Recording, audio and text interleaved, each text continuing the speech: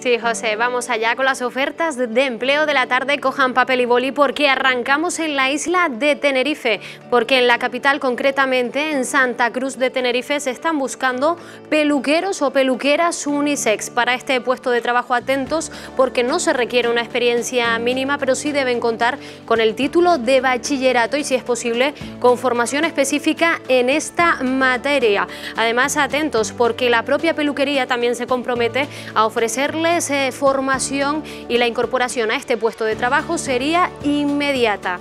Nos trasladamos ahora hasta la isla de Gran Canaria porque en Agüimes se están buscando jardineros o jardineras. Y ojo porque hay tres vacantes para este puesto de trabajo. Sí que se requiere una experiencia mínima de un año y que sean eh, personas cuidadosas con el entorno y también con recursos eh, como el agua. Si además eh, tienen carne de conducir, no lo duden y vayan ya a por esta oferta de empleo. Y para solicitarlas, tanto esta oferta como la anterior, ya saben que lo tienen muy fácil siguiendo los siguientes eh, pasos. En primer lugar, mientras ven BTC ahora mismo desde casa, se pueden descargar la aplicación móvil del Servicio Canario de Empleo o también pueden entrar en la página web del Servicio Canario de Empleo y pinchar en ofertas de trabajo. Ya saben que la oportunidad está ahí, lo decimos siempre, y solo tienen que ir a por ella.